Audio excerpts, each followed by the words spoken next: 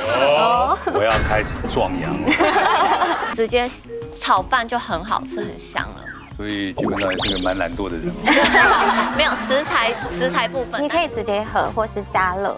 应该要加热吧？我有时候还会直接开。你也怎么够懒？OK，得到结论就吃罐头的人都蛮懒。好，这个啦。没有想到这么漂亮的人也会吃罐头哈。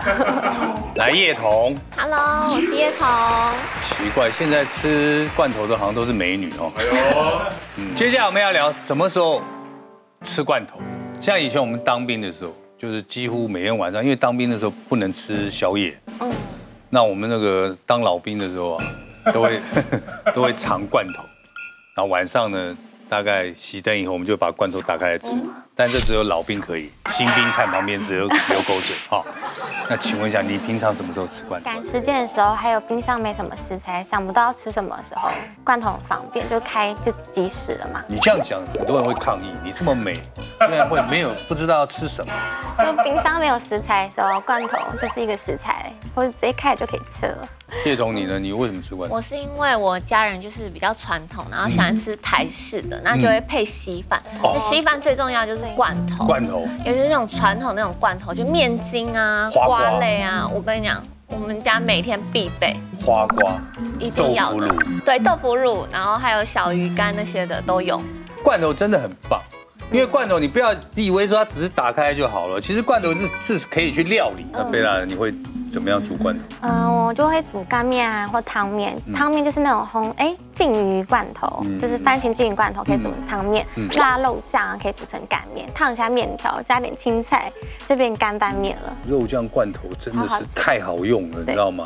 以前我们去爬山干嘛的，都会带那个，因为你只要把面条煮一煮，啊一罐放下对啊去和一和，就是意大利面。对，我跟你讲，我们那时候都吃意大利面，哎，嗯，叶董呢怎么弄？泡面啊，或是炒饭，那我觉得就是要加一点东西点缀，所以我就买那种玉米罐头，嗯直接玉米直接撒在上面，跟火腿或者切一切，你就不用还要料理，还要煮，还要腌什么的，嗯直接炒饭就很好吃，很香了。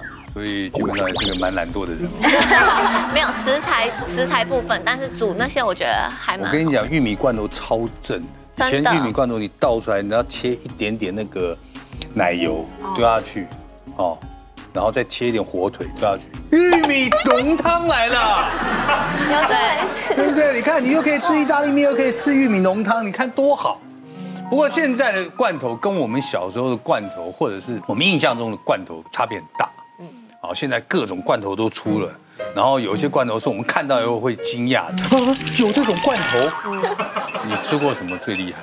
蟹膏罐头或那个鸡汤罐头，我跟你讲，蟹膏，韩国对不对？。对，我跟你讲，我第一次在韩国吃到那个的时候，我连续我在韩国待五天，我每天都吃两罐，直接吃吗？直接吃哦下酒。然后我跟你讲，最好吃是铺在白饭上，对，还有配海苔。哦，那会要人命。对，还有鸡汤罐头。对，因为我很很爱喝汤，然后我就在网络上找到了，嗯然后找到很多种，然后有干贝鸡汤、香菇鸡汤、佛跳墙，这就是一碗，然后倒出来也有料，也有香菇，也有肉，有料。有料啊，就是一碗，然后你也不会觉得，大一罐是大的还是这样嗯，？就是像你家里一个就是饭碗的那个大小，你就会觉得哦刚刚好，哦差不多这么大对对对，差不多，再再小一点，啊，再小一点，对，就是一碗汤，你可以直接喝或是加热，应该要加热吧？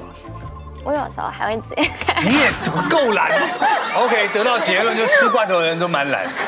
方便嘛，就对方对。对便。，叶董呢推荐一个我是不知道大家现在有没有其实很久以前的人就有在吃的，是海苔酱，有听过吗？你是就是说我有在吃，对，海苔酱超好吃。什么东西只要不好吃了，我一定会从冰箱拿出海苔酱配，我觉得那个东西就变好吃了。不管是饭、米粉还是干面还是什么，我只要觉得不好吃，我就会配那个海苔酱。以前我吃海苔酱，通常我是弄在饭上面，对，就白饭，你知道白饭，然后你勾那个，因为它海苔酱其实够咸，哦，它味道也蛮好，蛮重，咸咸的，对，然后你就这样裹在饭上面，对。哇，这样吃。可以吃三碗。可以，可以，可以。我跟你讲，我曾经吃过半罐海苔酱一次，太夸张这。样好像吃太重咸。对你好像吃太多了。对，是有点重咸，所以后来就肿起来了，变这样还没消。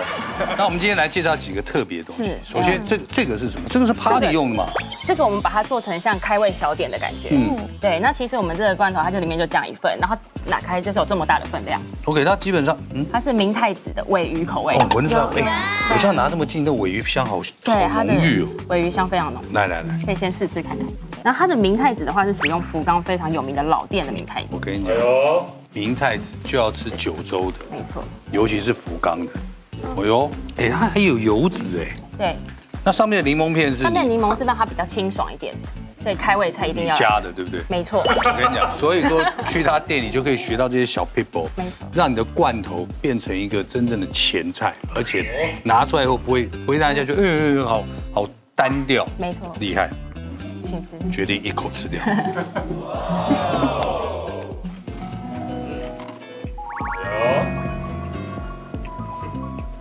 哎，有柠檬差很多哎，嗯，对不对？清新，吃下去之后，就像柠檬饼干那种味道。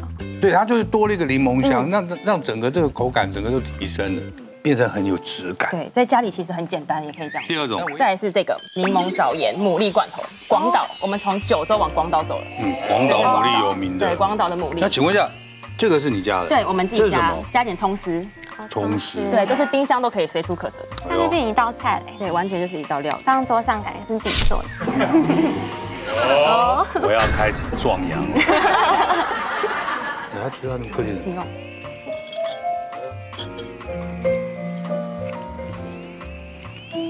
嗯，这算比较重口味。它比较重口味，然后柠檬藻盐的味道也很香。嗯，这一定很下酒。嗯，对，而且啤酒，它没有腥味，这很重要。对，像很多人看到这个就，呃，它一定很腥味，其实没有，没错，好吃哎。那一颗都非常饱满。而且我觉得你家的葱葱丝是真的厉害，看得出来哦，有有研究。有研究，当然下做功课。接下来是它旁边这个，这个应该没有办法想象，这是在罐头里面会出现的。为什么？这个是腌萝卜，然后这就回到宫崎的部分了。卤肉这是九州的腌萝卜罐头，等下可以感受一下它的脆度。哦你闻，你闻它那个味道就好日本。我稀饭最适合配这个。啊，对对对对对，这样子你也吃，好脆哦。我听到你们吃的声音了。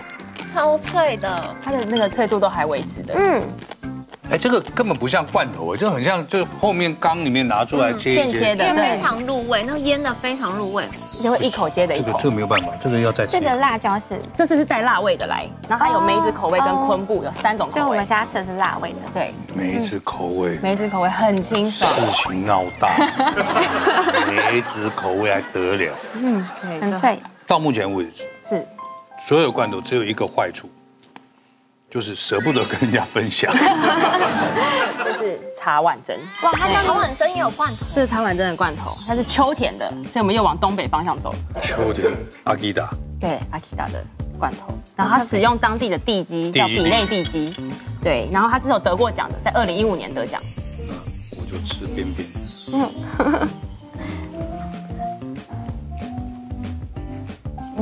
要不要吃一个料？我可以大声的告诉你们，我配一个香菇吃。很多人，嗯，都做不出来这样的茶碗蒸，因为很多人会做成气泡那种气孔的，这个很嫩。而且它的味道，它的高汤，它的高汤非常有味道，好好吃哦。它直接用那个在盛装，所以它可以直面是还有一接使用个。月桂叶嘛？对，它上面的话，那个是鸭儿芹，哦，鸭儿。对，然后里面还最下面还有鸡肉，我刚刚配着香菇吃的时候，我觉得它的香菇也好入味，也很香。啊？你吃鸭耳芹？那个叶子可以吃。可以吃，可以吃，可以吃。它放在里面应该都可以吃。你你是被人家害过多少次？嗯，太棒了！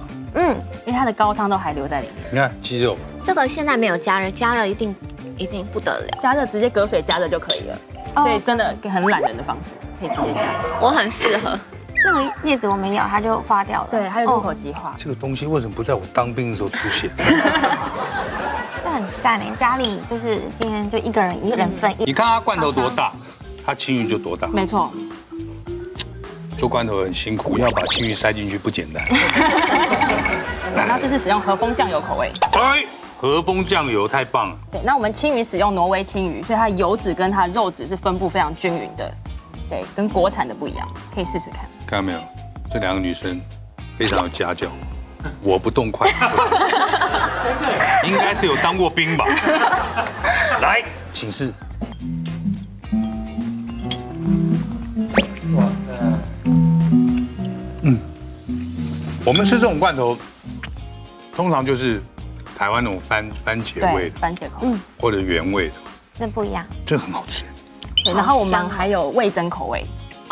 对。丰田呢，我等下拿这个去 K 他头，他就会很高兴。对这是苹果，然后打开它就是已经都已经帮它剥，都已经剥好皮、去好籽，就长这样。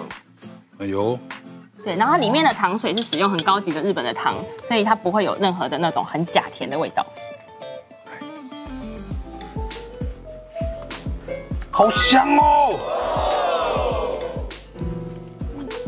比起来，我好像是动物，因为我都会先闻。我也是，嗯，好香哦！好好吃哦。